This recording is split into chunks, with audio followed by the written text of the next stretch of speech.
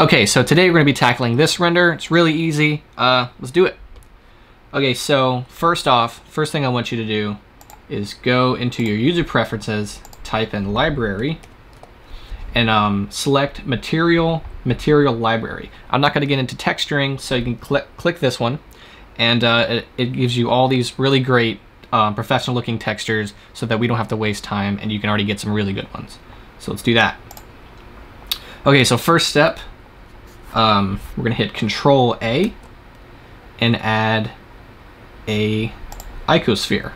Definitely not saying that correctly, but you get the idea. Then we're gonna take that, we're gonna hit Tab, we're gonna hit W and click Subdivide. Now right down here, right by fractal, just bump that up a bunch bring it to maybe right about there. You can play around with it. This is the, you can be a little more creative with it. And um, that's all we need for now. Now we're not done. Don't go out of edit mode just yet. We're gonna we're gonna stretch a couple of them. So let's take this one, stretch it out. You do whatever you want. Stretch this one. Say I'm gonna stretch this one. Bring it that direction. And then I'll take this one, stretch it out to about here. You do whatever you want this isn't, um, yeah, be creative with it. Now, hit tab to get out of edit mode and you're done with this. Now, uh, I'm gonna scale it down, I'm gonna hit S, bring it down. Next thing I'm gonna do is I'm gonna add a camera. So Shift A, um, come down to camera. Now you're gonna hit Control Alt zero to snap the camera to snap the camera to view. You're gonna want to remember this because uh, it's really useful rather than try to edit the camera. When I first started, it was really annoying, but Control Alt 0 snaps it right to your view. Now I'm gonna hit, click on camera, click G, hit the middle mouse, kind of zoom it out a little bit. You do whatever you want. Hit, hit G again, move it around a little bit. Boom, I kind of like that. okay, next thing we're gonna do, we're gonna add some textures. We're gonna add two textures to it. I'll show you a little bit um, would we go into the wireframe. So we're going to go into the materials, scroll down here, right here by cycles templates, go to cycles materials. And this is the part where the um, add-on I asked you to click on. I'm going to go down here and I'm going to select um, car paint. And then I'm going to make it a really dark kind of maroon color. Actually, I'm just going to make it a full-on gray. And then let's add another click the plus here, hit new, and just leave that. I'm gonna keep it white. You do whatever you want. You could add another material on that. And then to view our materials, come down here and hit material material view. Okay, so that's it. That's the car paint that we're looking at. Now, let's go over to the modifiers, hit add modifier, and right down here, just scroll down. Sometimes you have to scroll down to see it. Click wireframe. Now we got this thing. Hit zero to go back to my camera view. All right, that's the wireframe. Down here on material offset, click that, and then click replace original. And now we have our, um, got a thing back. Now go into thickness and just thicken that wireframe to whatever you want. I want to keep it around there. And so this is the reason why we added our two materials. So the wireframe is the second material and the whole um, spike thing, that's the first material. And you can play around with that if you want. Okay, we got that. Next, we are going to add all the little circles and stuff that's going to go around it, and that's going to be in our particle system. Hit New Particle System, and right here by Emitter, click Hair. Boom, we got all this stuff. I'm just going to bring it down really quick so we don't overload our computer. So, right about there. Now, right down here, let's go to a new layer. And we're going to add a UV sphere, um, go down to smoothing and keep it smooth. And we're going to add an emission texture. So go to your textures, hit new, right here by diffuse, go up here and select emission. And uh, maybe give it strength of 30, just anything rather than just the one, because that'll make it full white and really bright. So it's going to be in that layer right there. I would advise renaming it just so you don't get confused. So I'm gonna call it particle. All right, click on your icosphere, click on your particle system, and right down here, click on object. And then select your particle. Boom, you got them all right there. All right, so go back to the other layer, take the sphere and put it to the left here. Um, now hit shift and click on that layer so that you can see them both at the same time. So now hit click on the sphere. I mean, sorry, the the uh, yeah the sphere, the particle. Hit tab, and then on the red, I think it's the red. No, no, no. hit the blue. Kind of pull them out a little bit, right about there. And now keep it in edit mode. Hit scale, and edit the scale a little bit. Okay. Go out of tab. I'm gonna up the number go back into your particle system, up the number right about there. And then we're gonna go back out, click the sphere, hit tab, and sort of whoop, hit the green here, hit the green arrow, and just sort of push them out. Kind of like that. Go back into your view, and then go out of tab mode. This is just playing it around. We're just editing it. It's kind of how we want.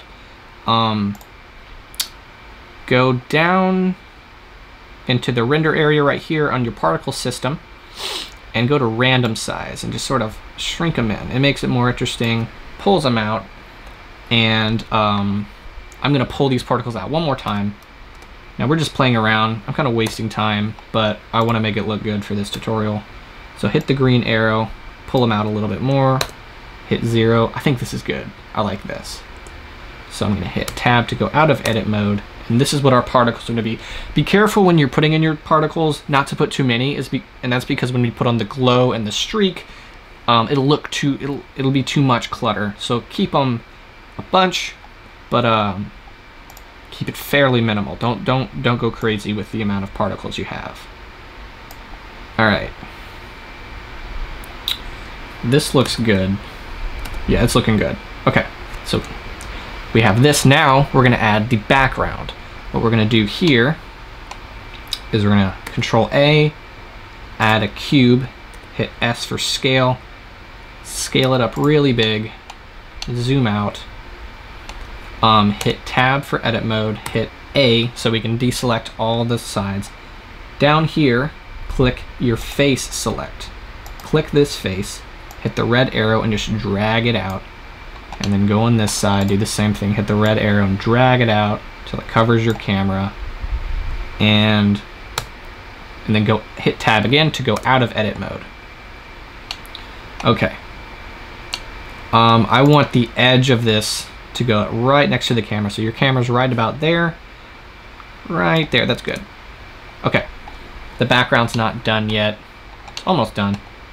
We're gonna take, we're gonna go back into edit mode, hit this, this face right here, hit scale, and we're just gonna scale it down to about there. Hit, and then let's go and adjust the uh, composition again.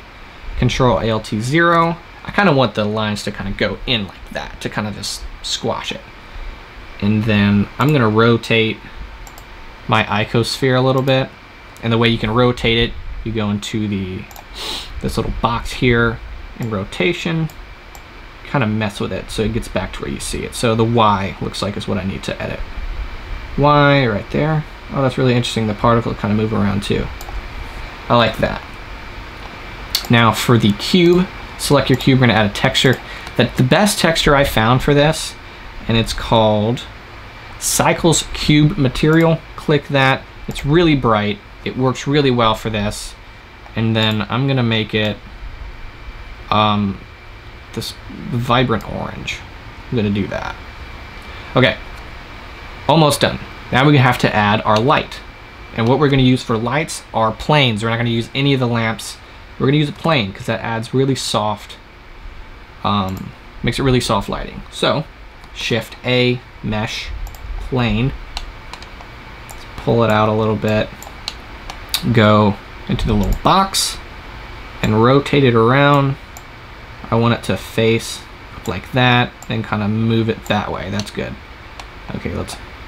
All right, we need to move it past our camera. So... Pat, we need to move it past the camera view, right? Oop, come back. Why can't you move? It's not working right here. There we go. Almost there. Almost, almost movable. Just gotta move it back a little bit. Move it back a little bit more. Boom. It's being weird. And then, yeah, that's good. So let's hit, let's go back into our plane. Texture. New texture right here by diffuse, hit emission. And then bump it up by about strength of 30. I think that's good. All right, now let's just check out our piece. Let's go into the rendered view, make sure it's bright enough. It's not very bright at all, actually. Go back into material. Let's hit it. Let's make it about 60 in our strength. Check it out again. Go into rendered view. And we're almost there a little bit more. Let's actually bump it up to 100. This is just playing around. I've, I've, I've made this tutorial three times, and each size of your plane is going to be the size of your light, and this is the smallest plane I've worked with yet, so it's fine. Let's check it out one more time. This should be it. Yes. That's bright. Okay, go back into the material. We're to add one more plane, and that's going to be above it, so the light will come down. So, Shift A, plane, bring it up, scale it, and then the camera view can see it. So we're to bring it over like this, a little bit more, right about there. Okay, perfect. And then we're going to add texture, new, emission, and then 100 on strength. Now let's check that out. Previewed in our render view. Okay, well now it's too bright. it's too bright now. Okay, let's bump each of those emissions down to 60. See what happens. This one 60. This one 60.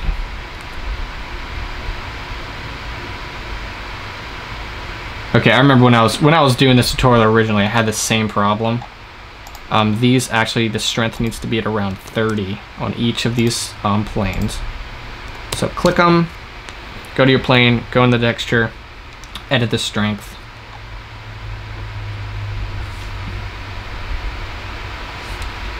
Okay, that's looking really good. Um, I'm having one problem, and that's the texture on my icosphere.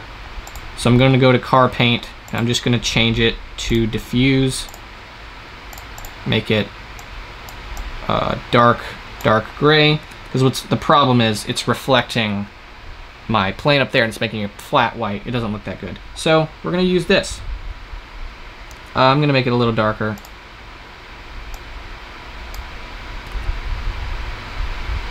Okay, that looks perfect. Okay, so now we have our lights. Um, second to last thing, I believe. Go to your camera.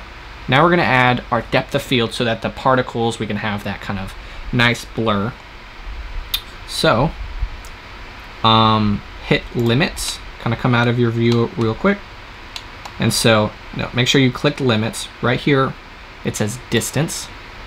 See that little plus? That's going to show what it's going to focus on. So kind of put it near the front, but not directly in front. I'll say right about there. And then um, go into your rendered view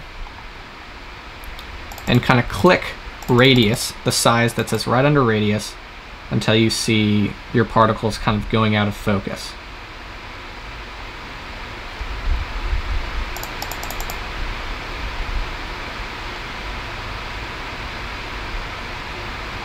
Okay, that's looking good. All right, now, one thing we have to change is if you look at your particles when they're out of focus, it's a kind of a crack, crappy, grainy look. So right here on blades, hit 12, make it 12, and that'll make your bokeh, the out of focus, look nice and sharp and round. Um, just something you gotta do if you wanna make it look nice. And yeah, that looks good. Let's just check it out, the render view again. Perfect. This is perfect. Go back into your material view. So we're almost done. We got our camera, we got our, all, everything. Now, um, it's time to render it.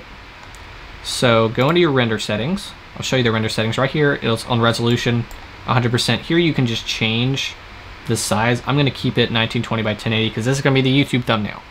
Um, I don't think you have to really change very much. You can maybe change it to 16 color space. I'm to keep it on 8. Um, PNG. Um, yeah, make it keep it on PNG or JPEG.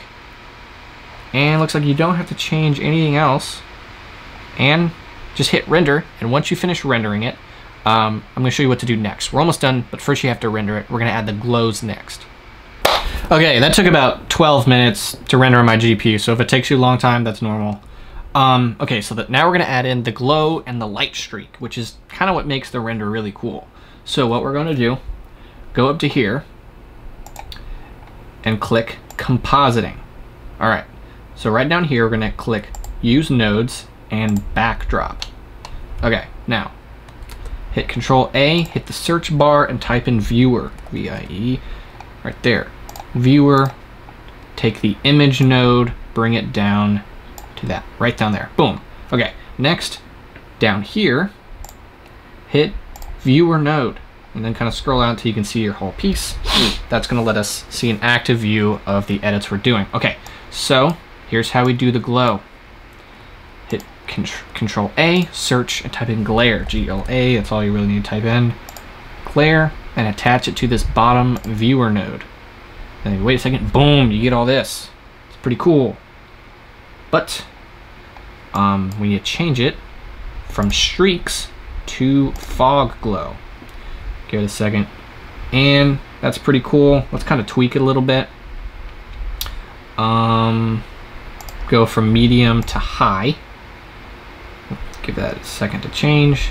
And leave that about there.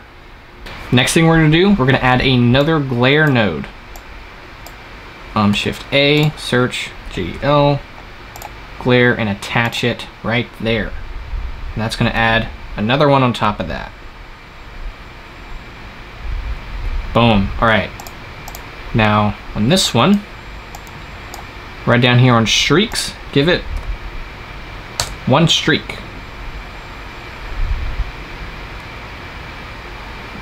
All right, that's one streak. Go from medium to high kind of make it a little less less crazy. And there you have it. That's your render. And then go down here to image, save as image, and you're done. And that's it. That's how you do it. Um, I think it was pretty easy. If you liked the tutorial, subscribe, follow me on Instagram. All the links are in the description. And thanks for watching.